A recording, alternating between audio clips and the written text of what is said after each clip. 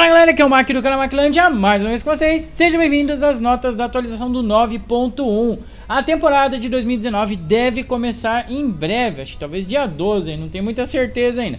Mas vamos lá, vamos preparar a MD10, todo mundo ferro quer dizer, vamos lá galera, vamos escalar e vamos subir aí, agora mudanças no sistema de ligas, tem mais ligas pra gente se aventurar no League of Legends, vamos lá. O patch vem com muitas mudanças, especialmente de balanceamento. Olha, Serruane, Or vão ficar muito filé. Kalista também. Tem um buff pra Vayne. Um abraço pro Gano aí. E vamos lá. Então vamos analisar aqui esse patch. Eu gostaria de pedir pra você deixar seu like, compartilhar esse vídeo com todos os seus amigos e dar essa força pro canal. E também deixar comentários se você gostou do patch, se você não gostou, se você acha que as mudanças são positivas ou negativas. Então deixa um comentário. Ah, mas que não sei o que comentar. Deixa uma receita de bolo, deixa um poema. Bom, vamos lá. Ah, Calista, galera, dano de ataque aumentado, vai de 62 para 67, é muito dano extra nas mãos da nossa Calista. E não para por aí, o crescimento por nível, que era 3,6, agora vai para 4, mais danuda.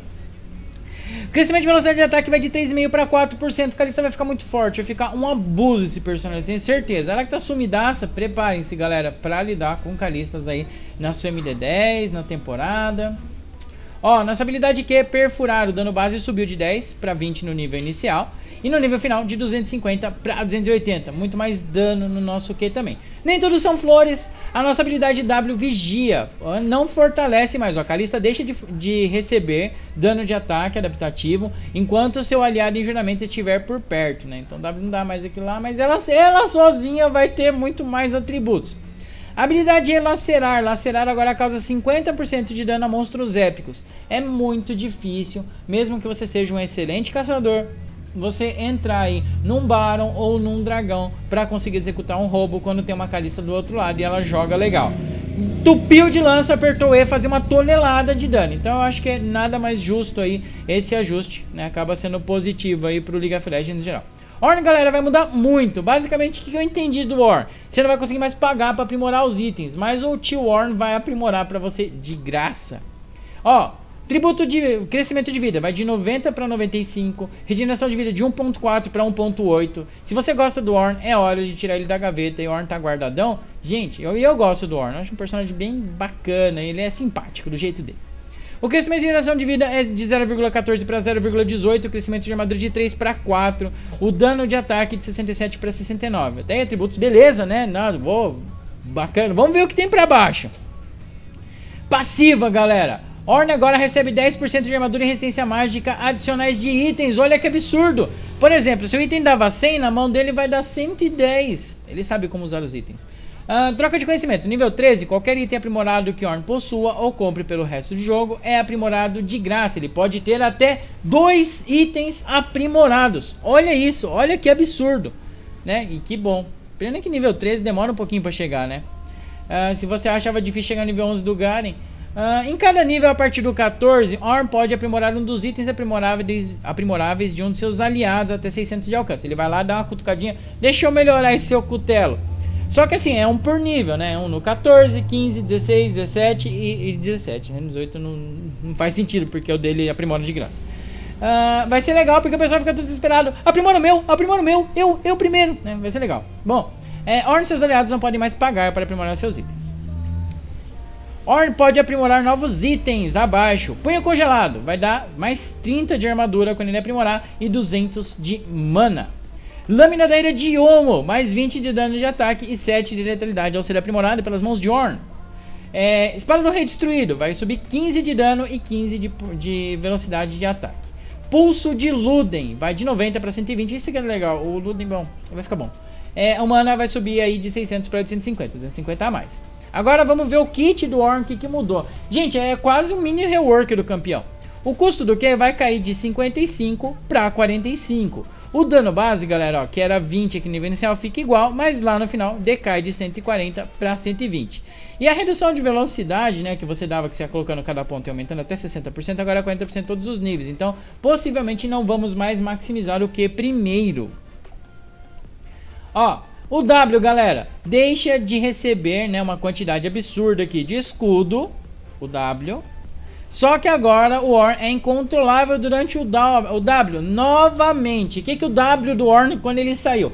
ele ganhava escudo e ficava incontrolável. O que é incontrolável? Pode tomar controle de grupo, né? E eu acho que é uma coisa da temática do personagem. Você que acompanha o canal, você que acompanha os pet notes, vocês viram quando eu tirou isso, quanto que eu fiquei chateado. Mas agora volta, entendeu? O cara é bruto de fusão. Ele tomou um W, um Q da Morgana, não tá nem aí, mano. Ele vai cuspir o fogo dele na cara dos inimigos. Ótimo, para fazer vanguarda, para fazer linha de frente, Orn volta, só que ele não tem o escudo adicional. Mas os itens são melhores, então nessa, na, no final da obra deve dar bom.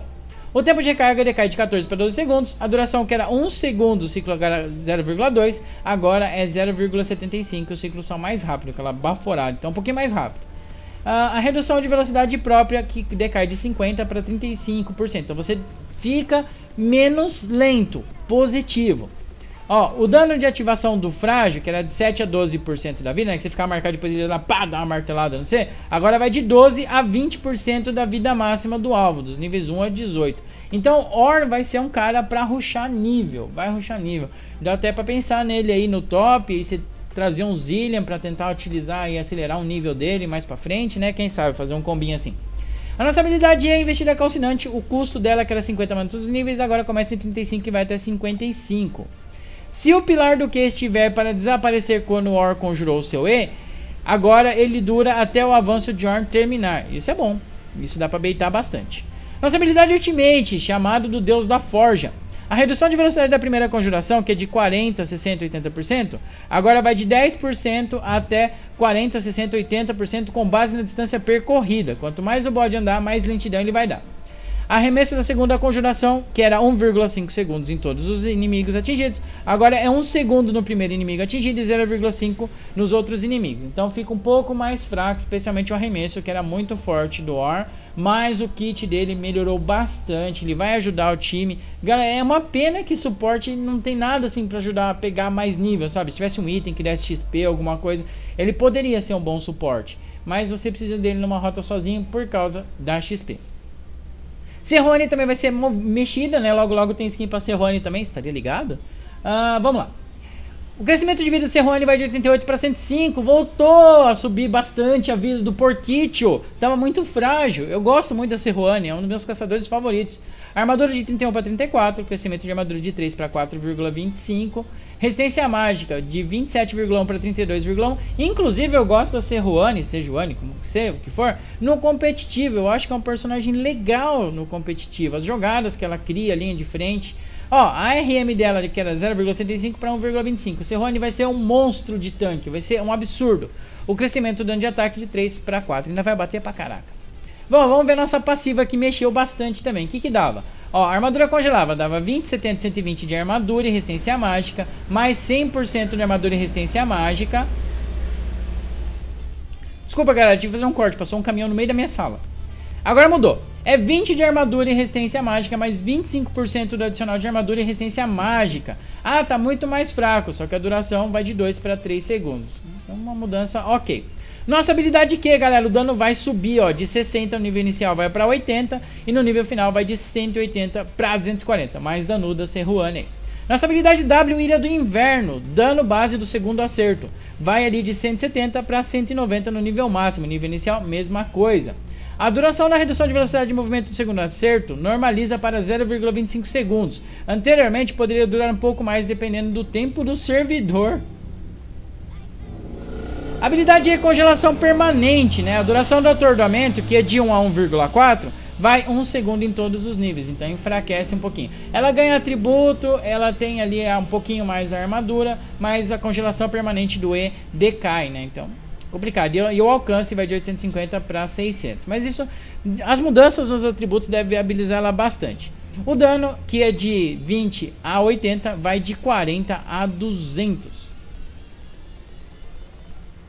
Ash, galera.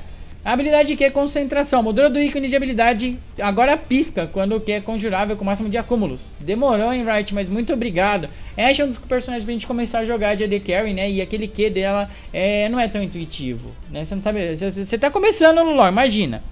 Ah, não sei quando o Q funciona, quando não funciona, às vezes brilha. Agora vai brilhar mesmo. Beleza. Habilidade E, galera. Ash agora recebe crédito de assistência se o inimigo que estava fora da visão for abatido dentro de 10 segundos após ser revelado por olhar do facão. Eu conheço um monte de gente que não compra o E na rota. Agora vai comprar. Uh, o tempo de congelação do W agora escala com a velocidade de ataque da Jinx. Ó, o tempo de congelação era 0,6, agora vai de 0,6 a 0,4. Com base na velocidade de ataque, limite de 50% de velocidade de ataque adicional, incluindo o adicional recebido por trocando.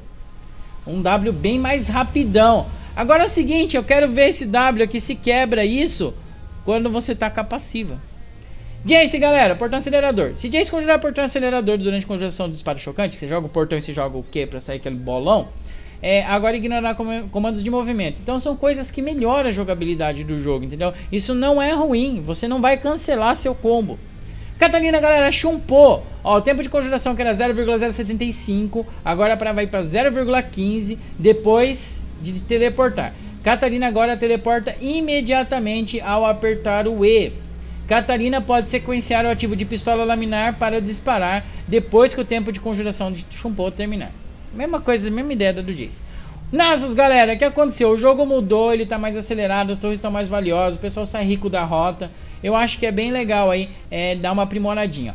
Acúmulo por grande abate. 6 por campeão, tropa grande ou monstro grande. 12 por abate campeão, tropa grande ou monstro grande.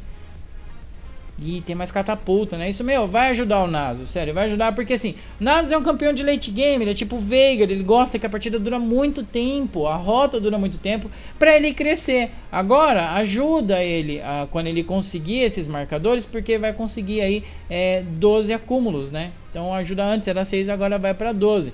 Eu acho que no final da conta ajuda ele, porque o jogo, no geral, tá todo mundo muito mais forte, muito mais cedo. Sivir, vamos lá. Lâmina Boomerang. Atingir um campeão inimigo deixa de reduzir o dano de Lâmina Boomerang contra os próximos alvos. Se tacar um Q na cara do campeão inimigo, né, ele vai causar aquele dano todo, olha só. Vayne. Ó, agora é o seguinte, galera, Ultimate, ó. O tempo de recarga de rolamento é reduzido em 50% enquanto a hora final estiver ativada. Ô louco, vai virar o Sonic. É um novo Ramos no LoL. O tempo de recarga de rolamento não começa até que Vayne tenha disparado um ataque fortalecido. Mas é legal, eu gosto da Vayne, ela tá como minha segunda opção de campeã aí. Eu vou ficar feliz com isso. O Ganon mais ainda. Ah, Zé, galera, a duração do, enraizamento do E dela vai de 1 um segundo, de um segundo para 1,25 segundos. Então vocês veem que os AD Carries, né, alguns deles sofrem né, alguns ajustes, dando uma melhorada. Eu acho que especialmente aí a Kalista, né, e a Vayne vão se beneficiar demais. Agora os combos da Zarya é a mesma coisa, tá? Então eles devem ter mexido alguma coisa no, no LoL lá pra você conseguir fazer combos melhor. Se Zarya conjurar com crescimento desenfreado durante a conjuração de farpas mortais ou pântanos de raiz, ela ignorar comandos de movimento até que ambas as habilidades tenham sido conjuradas. Fazer combo, tá? Sem, sem problemas. Agora aqui, ó. Machete do caçador, talismã do caçador, lâmina do perseguidor, desencantado e sabre de batalha desencantado. Agora reduzem o ouro obtido das tropas em 10 por tropa, se o ouro do usuário proveniente de tropas for maior que metade do ouro proveniente de monstros. Novamente tendo problemas aí a gente com aqueles lances de afunilamento. Chuva de lâminas mudou, galera. Essa runa que ninguém usa. Não sei, o Jin usava, depois foi nerfada. Agora ela deve ser mais utilizável. Inclusive eu tô animado para testar ela na minha caixa. Simples, 110% em todos os níveis de velocidade de ataque, né? Pelos ataques extras ali que você dá. Então assim, ó. E ataques que se beneficiam de reinicialização de, de re reinicialização de ataques exemplo o W do Jax, deixam de consumir acúmulos de chuva de lâminas. Hum. Mas aqui é legal, galera, né? Porque essa é uma runa que só dá velocidade de ataque, é uma runa chave, numa... Eu acho que vai ser bacana, que dá pra fazer bastante coisa, hein, galera? Com a Jinx, com a Kai'Sa, com a Vayne. Ó, agora mudanças nas runas, né? Essa é uma das partes que eu mais gostei aqui. Ah, o atributo de velocidade de ataque adicional ele vai subir de 9 para 10%. Ninguém tá usando essa bagaça, né? 10% acho que vai ajudar bastante. Celeridade, multiplicador de velocidade de movimento adicional vai de 8 para 10%. Celeridade era fundamental, mexer, mexer, mexer, agora ninguém quase mais usa, não sei o Ecarinha, Jana, personagem assim, que realmente precisa de movimento, é, ou tem outras runas para combar, agora vai de 8 para 10% da velocidade de movimento adicional, acho que ficou ok aí. Golpe de escudo, galera, tá, também tem pouca gente usando, tá? O dano que era de 4 a 21 vai de 5 a 30, um pouquinho mais de dano aí. A assistência das torres, ó. Campeões dentro de 2.500 de alcance que ajudaram a derrubar uma torre contam na distribuição de ouro total, inclusive a primeira torre, tá? Campeões dentro de 1.000, não, 1.200 de alcance agora de uma torre contam na distribuição de ouro local, que ajudaram a derrubar a torre ou não, que é quando quebra as barricadas lá pra você pegar o dinheirinho, tá? As barricadas de torre já funcionam dessa forma.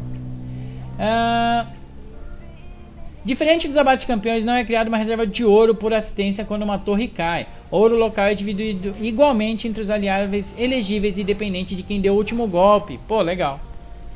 E aqui, ó, melhorias de pings e habilidades, tá? Tem diversos, vou falar aqui só alguns, ó. Pingar em, com habilidades agora permitirá que sua equipe saiba quais alvos estão no alcance. Olha só, isso é muito bom, né? Centelha final da Lux, o portal do Twisted Fate. Nice, né? Habilidades com informação detalhada. Passiva da adoração do Draven, né? Você pingar ali, ó. Essas melhorias de ping muito requisitadas darão aos companheiros de equipe informações mais relevantes caminhar na fenda do caçadinho tempo até que o acúmulo expire e assim sucessivamente outros personagens, né? O ataque sifão, os acúmulos no momento do NAS, né? Você pinga ali. Então, boa aí, Riot. Boa mesmo. E aqui a interface de ícones de habilidade, tá? A barra de duração restante, eles deram uma melhorada aqui em diversos personagens. Aquela que ativa habilidade, tem um tempo ali remanescente, né? Que dura. Como, por exemplo, a ultimate do Volibear, né? Bom, e a moldura de tempo de conjurar novamente. Então, assim, melhorias de interface e depois tem as correções de bugs aí. E tá chegando, né, galera, as novas skins aí do League of Legends. A gente vai ter o Pyke Lua Sangrenta, Silver Lua Sangrenta, o Atrox Lua Sangrenta e o Atrox Sangrenta edição de prestígio, né? As skins estão pra variar aí, deixa eu mexer aqui minha câmera pra mim não ficar na frente. Todas muito bonitas, né? A gente sempre fica muito motivado quando a gente vê novas skins no League of Legends. E claro que todo mundo que puder vai querer o Atrox prestígio, né? Você vai juntar ali, vai ter cápsulas, vai ter uma espécie de orb para você abrir. E assim que lançar, pode te contar aí que nós também vamos fazer vídeo abrindo orbs aí do canal. Então é isso aí, galera. Muito obrigado por assistir o vídeo. Convido você a ser um dos membros aqui do canal da Maquilândia, que você ajuda a gente bastante. Hoje nós aparecemos bastante no canal. Dá aquela força, deixa um comentário, compartilha esse vídeo com todos os seus amigos. Está preparado para a pré-temporada? Você vai fazer seu MD10 no começo? Vai esperar todo mundo fazer? Qual é o seu plano para S9? Coloca aqui nos comentários, vamos conversar sobre isso. Muito obrigado por ter assistido o vídeo, um grande abraço e lembre-se, vocês são OP. Valeu, galera, tudo de bom.